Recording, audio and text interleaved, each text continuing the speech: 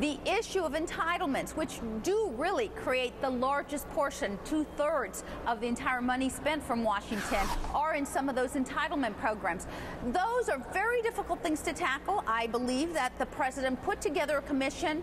They came forward with cuts in a lot of different areas. But he cuts didn't. In defense, he didn't. But Congresswoman, he didn't in, listen to the in debt Social commission. Security. Well, it's not for the president to put that in a yearly document.